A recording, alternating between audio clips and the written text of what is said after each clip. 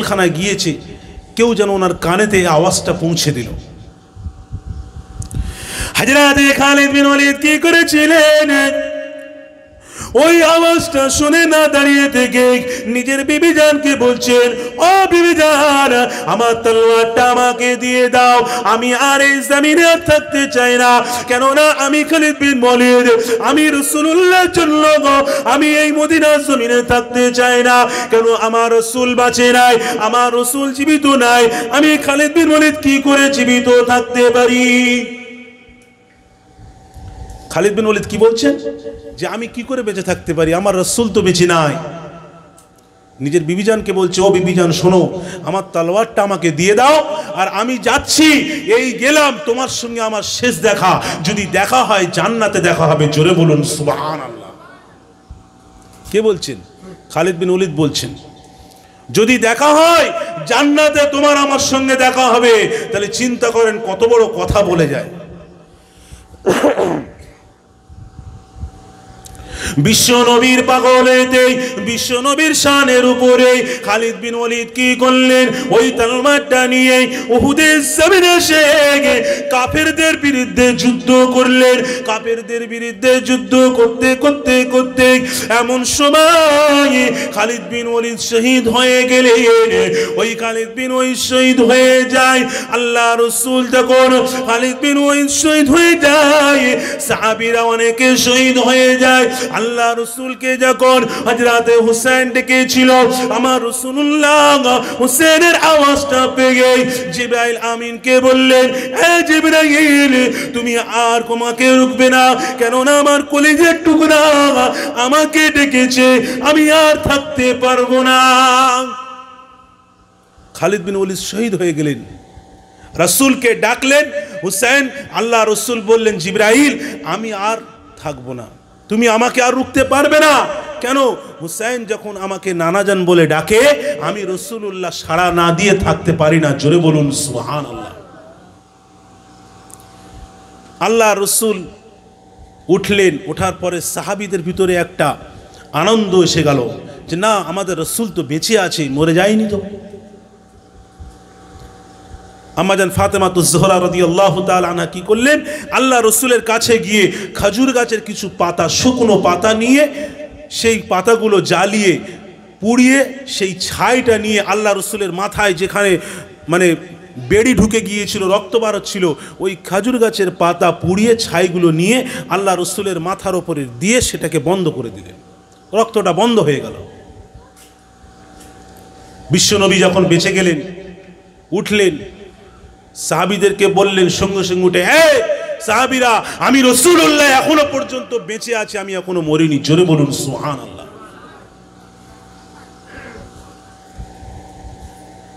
খালিদ বিন অলিদ রাদি আল্লাহ তালা আনহার স্ত্রী নতুন বিবাহ করেছেন সকালবেলা চলে আসলেন। দৌড়ে দৌড়ে আসছে, এসে বলছেন, ইয়া রসুল্লাহ ইয়া হাবিব আল্লাহ হুজুর, আমি খালিদ বিন অলিদ রদি আল্লাহ তালা আনহুর স্ত্রী, আমি আপনার কাছে এসেছি।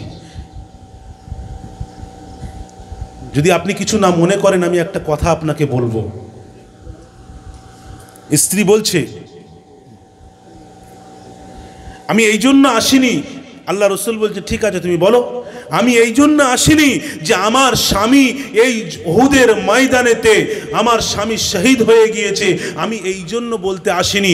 আমি আপনার কাছে একটা কথা বলতে এসেছি যে আমার স্বামী সকালবেলায় যখন যুদ্ধের জন্য তলবারটা আমার হাতে থেকে নিয়ে যখন চলে এসেছিল, আমার স্বামী নাপাক অবস্থায় ছিল, তাই আপনার কাছে আমি বলতে এসেছিলাম।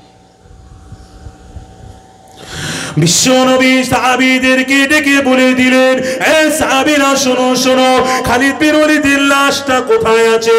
একবার তোমরা খুঁজে দেখে এসো। একজন সাহাবীরা গোটা ওদের ময়দানে সব জায়গা খুঁজে খুঁজে দেখে খালিদ বিন ওয়ালিদের লাশ খুঁজে পাওয়া যায় না। আল্লাহর তরফ থেকে জিবরাইল আমিন এসে বললেন, ইয়া রাসূলুল্লাহ, ইয়া হাবিবাল্লাহ হুজুর, আপনি যে খালিদ বিন ওয়ালিদকে খুঁজতেছেন, আল্লাহ পাক ওই খালিদ বিন ওয়ালিদকে তার গোসল দেওয়ার জন্য প্রথম আসমানে তুলে নিয়ে গিয়েছে। প্রথম আসমানে তুলে নিয়ে গিয়ে আল্লাহ পাক ফারিস্তা তারাই খালিদ বিন ওয়ালিদের লাশের গোসলের ব্যবস্থা করেছে। কে ভাগ্য পাবে এরকম? হ্যাঁ?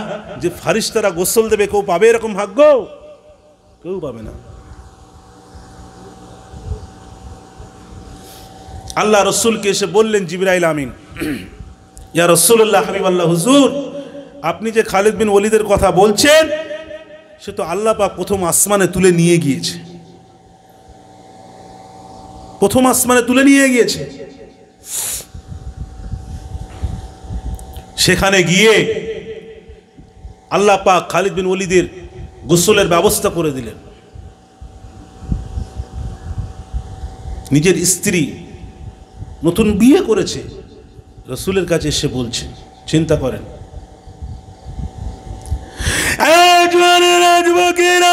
আল্লাহ রসুলের কথাটা, আল্লাহ রসুলের কানে যখন পৌঁছে দিল, এমন সময় আল্লাহ রসুল বললেন এই সাহাবীরা, দাঁড়িয়ে যাও দাঁড়িয়ে যাও। কেননা খালিদ বিন ওলিদুল্লাহ আমার আল্লাহ পাক প্রথম আসমানে নিয়ে গিয়ে গোসলের ব্যবস্থা করেছে।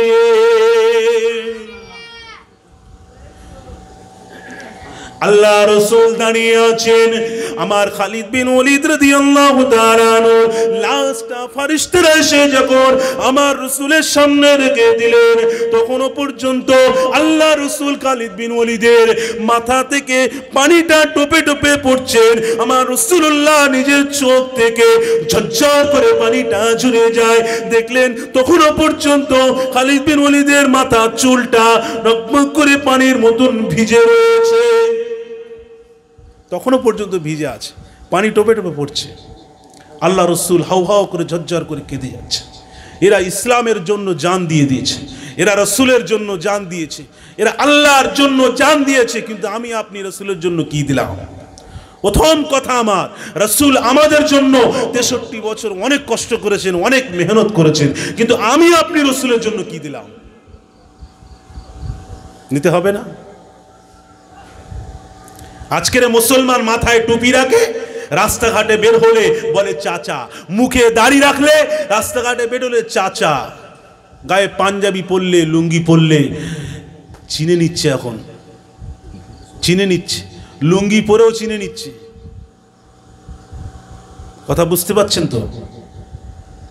এত বড় শিক্ষিত মানুষ, যার মুখের ভাষা, কি ভাষা? লুঙ্গি বাহিনী। লুঙ্গি বাহিনী নয়, লুঙ্গি হলো আমার রসুলের সোননাথ জোরে বলুন সুহান আল্লাহ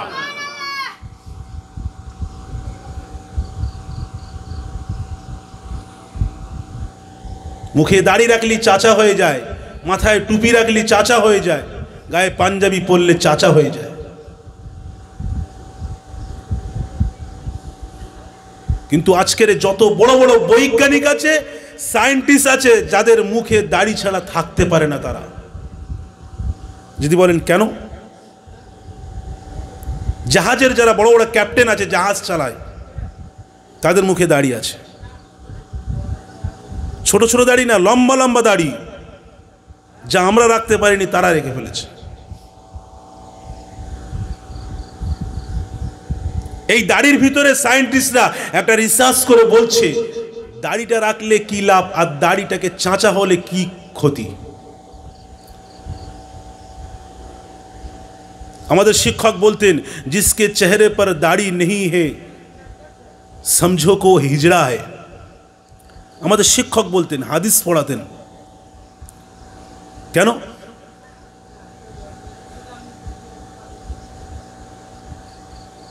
দাড়িটা মুখে আছে, এই দাড়িটাকে যে চাঁচা হচ্ছে চেঁচে প্লেন করে দিয়ে দিলাম তো মেয়ে হয়ে গেল। মেয়েদের মুখে দাড়ি থাকে না। পুরুষ মানুষ যারা হবে তাদের মুখে দাড়ি থাকবে। কোনো নবী এরকম এসেছে বিনা দাড়িবিহীন এসেছে? আসেনি। কোনো সাহাবি ছিল যে বিনা দাড়িবিহীন ছিল? আসেনি। পৃথিবীতে মুজাদ্দেদের জামান দাদা হুজুর পীর কেবলা রহমতুল্লাহ এত বড় একজন আল্লাহর ওলি মানুষ মুজাদ্দেদ ছিলেন, তানার মুখে কি দাড়ি ছিল না? তানার পাঁচ আওলাদ ছিল, দাড়ি ছিল না? তানার বংশে কি মুখে দাড়ি রাখেনি? ইসলামের মধ্যে দাড়ি রাখা ওয়াজিব, রাখতে হবে, আমরা রাখি না।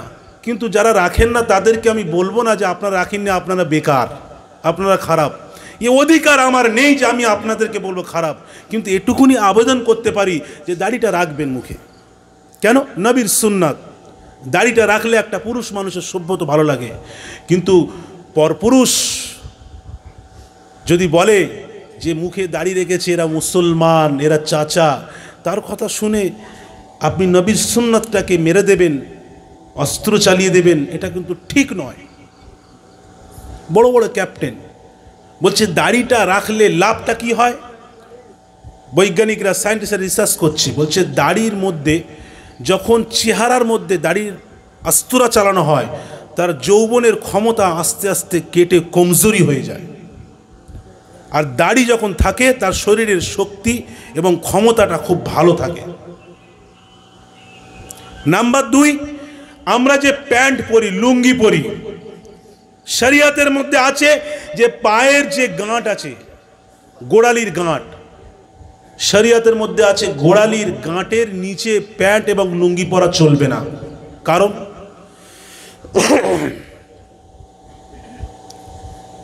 হাদিস পাকের মধ্যে এসছে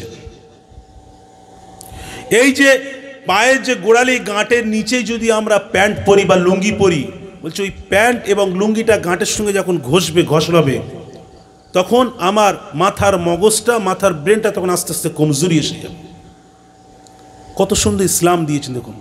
বলছে পায়ের গাঁটের যে গোড়ালি গাঁটের ওপরে তোমরা পড়ো, একটু ওপরে তুলে নাও প্যান্টটা, নিচেই কিন্তু ফেলো না। সব কিছুর একটা বিষয় আছে। কেয়ামতের ময়দানে নবী মোহাম্মদ রসুল্লাহর উম্মাদদেরকে গোটা পৃথিবীর মানুষ গোটা উম্মাদরা গোটা গোটা পৃথিবীতে যত নবী এসেছিল, সমস্ত নবী এবং সমস্ত নবীর উম্মতেরা, তারা তাদের নবীদেরকে বলবে, হুজুর, এরা কারা? এদের চেহারার মধ্যে এত ঝলঝল করে কেন? এদের চেহারাটা তো নুরানিয়াত কেন? ও হুজুর, আপনি একটু বলে দেন বলে দেন। তখন সেই সমস্ত নবীগুলো বলবে, এরা ওই সমস্ত মানুষ, এরা হলো শেষ নবী মোহাম্মদুর রসুল্লাহর উম্ম যাদের চেহারার মধ্যে এত ঝলঝালে নুরানিয়াত আছে। কেয়ামতের দিনে আমাদের চেহারার মধ্যে একটা নুরানিয়াত একটা ঝলঝালি আসবে। চকচক করবে, ঝলঝল করবে। সমস্ত নবীর উম্মতেরা তার নবীদেরকে জিজ্ঞাসা করবে যে, হুজুর, এরা কারা? যে কেয়ামতের দিনকে এদের চেহারার মধ্যে একটা নুরানিয়া চকচক চকচক করছে ভাবটা কেন? জিজ্ঞাসা করবে। সেই সময় সেই নবী বলবে সেই নবী, সেই তার উম্মতদেরকে বলবে, এরা হলো শেষ নবী মোহাম্মদ রসুল্লাহর উম্মত। কারণ এরা আল্লাহ পাক এদেরকে এমন একটা আমল দিয়েছিল যে আমল অন্য কোনো নবীর উম্মদদেরকে দেওয়া হয়নি বা কোনো নবীদেরকে দেওয়া হয়নি। সিরিফ মোহাম্মদে আরবিকে দেওয়া হয়েছিল। জোরে বলুন সুবহান আল্লাহ হোয়াট ইজ দিস মাহফিল খালি? ভালো লাগছে না তো? হ্যাঁ? লস হয়ে গেল এত টাকা খরচা করে। পিছন থেকে সামনে চলে আসুন। পিছনে যারা বসে আছেন, সামনে চলে আসুন। ফাঁকা রাখবেন না। ওই জায়গা ছেড়ে দেন। সামনে চলে আসুন। না রে তকবীর না রে তকবীর। চলে আসুন, সামনের দিকে চলে আসুন। দরুদ শরীফ পড়েন। আল্লাহুম্মা, দরুদ শরীফ পড়তে পড়তে সামনের দিকে চলে আসুন। আল্লাহুম্মা সাল্লি আলা আসবে না নাকি? আসবে বুঝেছি